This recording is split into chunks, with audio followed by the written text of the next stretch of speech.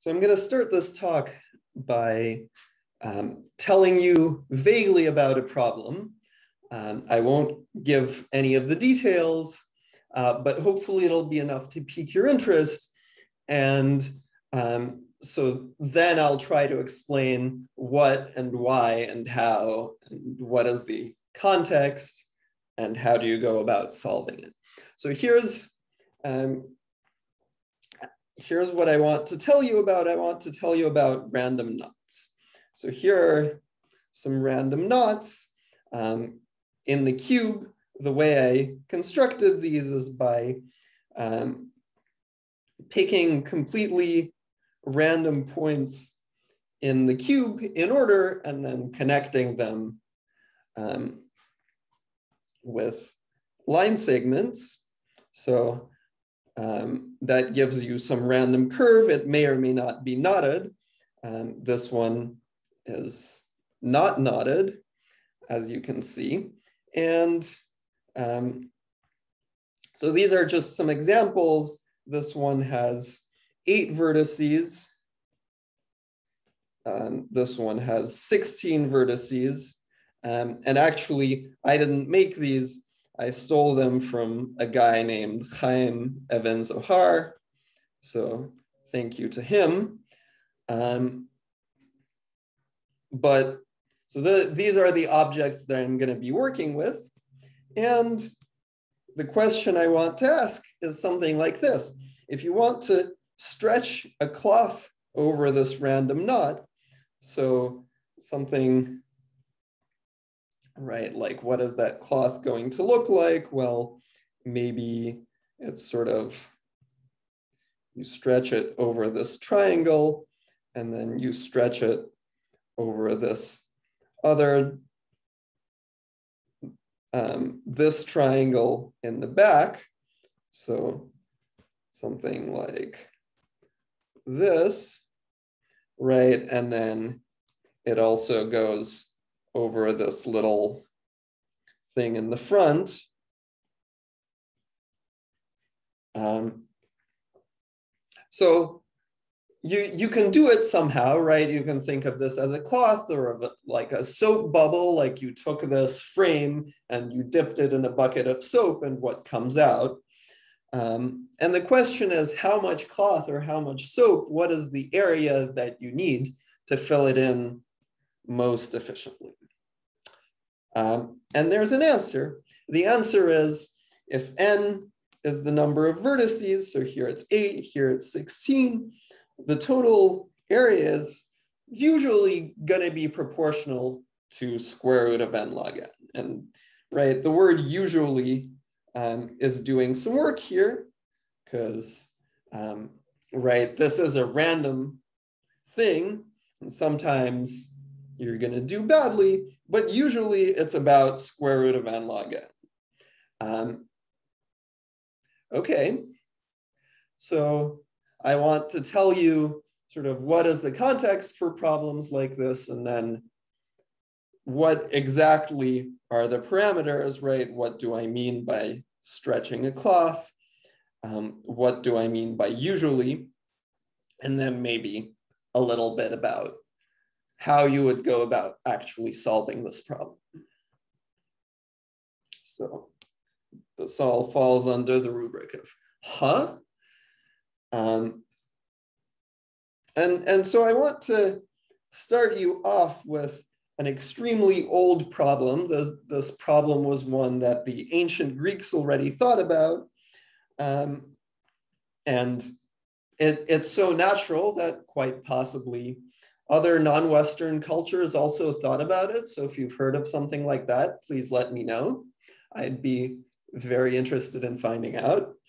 Um, but the problem is just take the plane um, and take a curve, take a string of length p, um, and try to enclose the uh, biggest possible area with it, right? You can sort of make different shapes with your string and right, how, how do you enclose area in the most efficient possible way.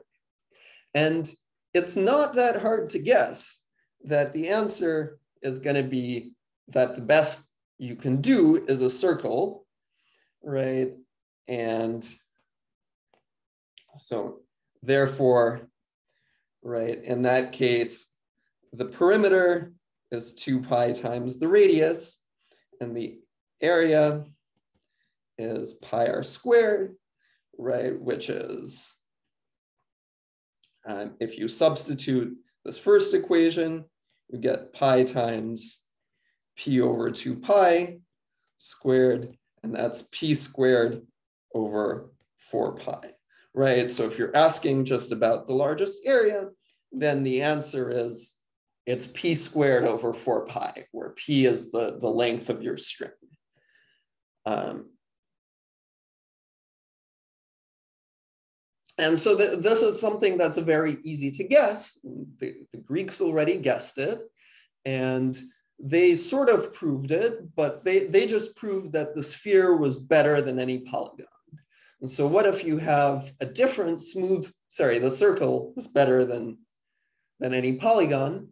Um, so what if you have some other smooth circle, smooth curve, really not doing very well with words right now. Um, well, the, the Greeks didn't really have an idea of like what other smooth curves are there. I guess there are ellipses, but they, they didn't have a general theory or anything.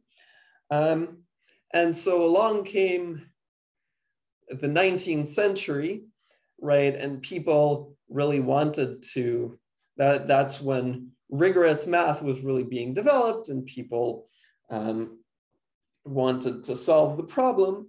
And in the 1850s, um, a guy named Jakob Steiner uh, almost solved it. He showed that if there's a best curve, then it has to be the circle. Uh, but he didn't show that there actually has to be a best curve. So that, that took another few decades. Uh, but by now, there are a lot of proofs of the statement. Um, and by the way, Steiner's argument is incredibly beautiful. It has nothing to do with anything else I'm going to talk about, but I was still very tempted to tell you about it. But ultimately, I decided that it would be a distraction. Um, instead, right, so th this is this is hard to prove.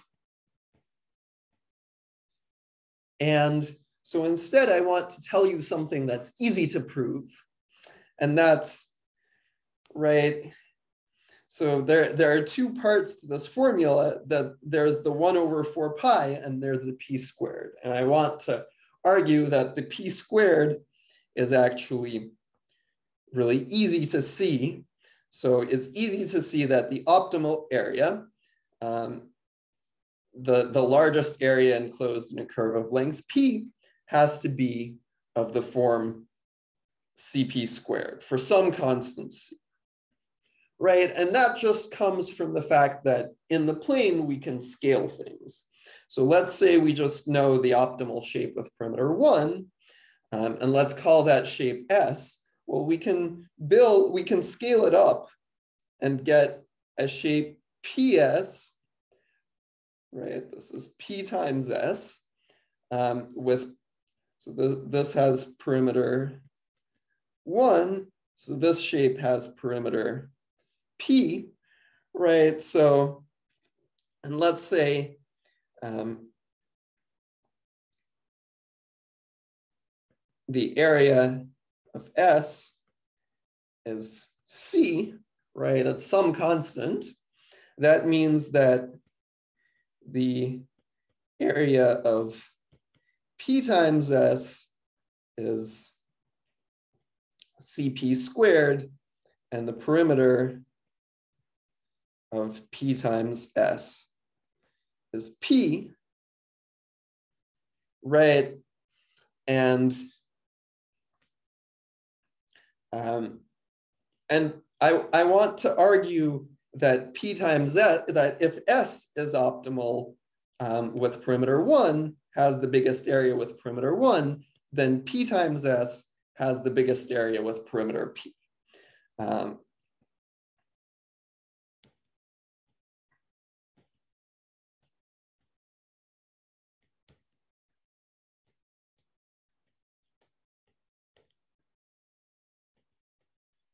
Um, and why is that? Well, suppose you had something with bigger area. So if you had a shape with bigger area,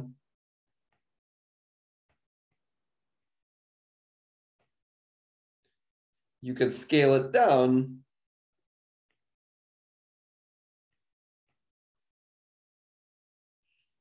and get a better shape with perimeter one.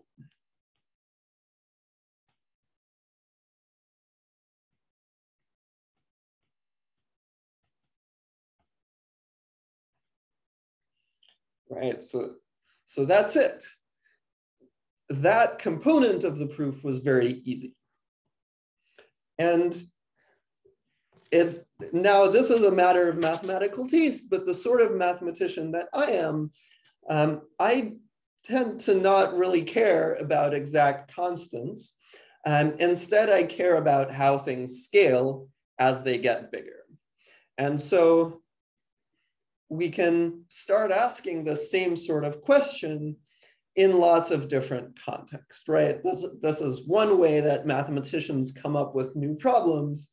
They say, okay, here's an old problem that I know how to solve. Let's now tweak it a bit and, and come up with a new problem that we don't yet know how to solve. And so one way of coming up with a new problem related to this is to say, okay, we did it in 2D, what about 3D? And in 3D, there are two possible generalizations you can have. Um, so one is you could say, okay, now instead of the perimeter, I have Instead of a, a, region with a perimeter, I have a region with surface area. So what is the largest volume that can be enclosed in a surface area, in a surface with surface area A, right? And surprise, surprise, the best thing you can do is the sphere, right? And, um, but again, that's a little hard to prove. And the easy thing to prove is um, if we scale by x, right, then surface area, so if we scale our shape by x, surface area scales by x squared and volume scales by x cubed. And so um, that means that the overall right? The volume as a function of surface area um, the, the optimal volume is going to be some constant times a to the 3 halves by the same exact proof that we had here. So that, that's one of the possible generalizations. Um, here's another one. What about the area enclosed by a curve, right? So now, now we have to be a little careful about what the question is because in 3D, if you take a curve, right, he, here's my purple curve, it's just a flat circle in a plane, right? And I can fill it in lots of different ways. I can just fill it in with a flat disk. I can fill it in with a hemisphere. I can fill it in with a giant blob with a neck, right? These are all legal surfaces. And so we can't just say, right, what is the largest area that can be enclosed in a surface because the area of this blob can be as big as you want. So that's not a very interesting question. Um, so here's how we actually want to phrase the question. right?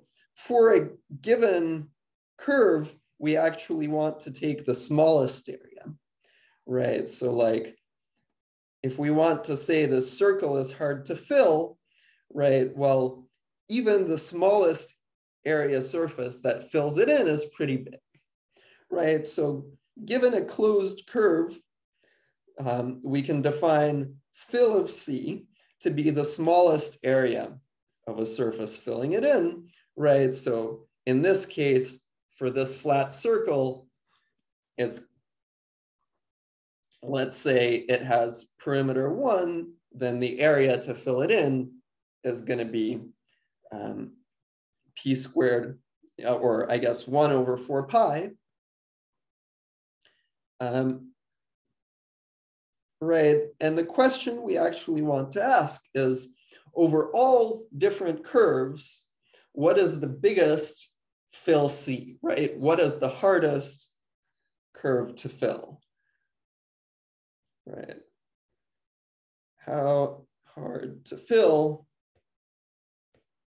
is the hardest to fill curve.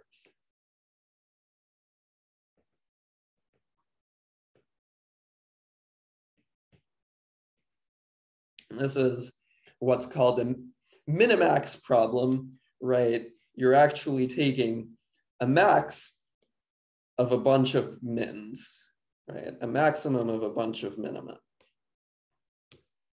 And the answer somewhat anticlimactically is it's still p squared over 4 pi, right? That even if you're allowed three dimensions, so you're, you're allowed curves that, um, that don't live in a plane, right? So the, this is a bendy circle that you can fill in with this sort of saddle shape, right? The, the hardest to fill one is still gonna be a flat circle. Um, and again, this is hard to show, but again, the, the scaling question is going to be easy, right? You, you know that it's something times p squared. So we're plagued by these questions that are too easy, right? How can we generalize this problem further so that it's no longer an incredibly easy question? Um, and that there are two directions you can go. One idea is you ask the same question, but now you go outside of Euclidean space and you go to hyperbolic space or you go to some kind of um, infinite tree or some, a Cayley graph, graph of a group, if you know what that is, and you ask the question there, and there are lots of interesting and beautiful answers. There's lots of beautiful math that goes in that direction. And I have also contributed a little bit to that direction, but that's not what I'm gonna talk about today. Instead, the, the direction I'm gonna go is instead of asking about the max, I'm gonna ask what happens for a random curve. And so the next um, part of the talk is going to be about making this question that I started talking about before precise.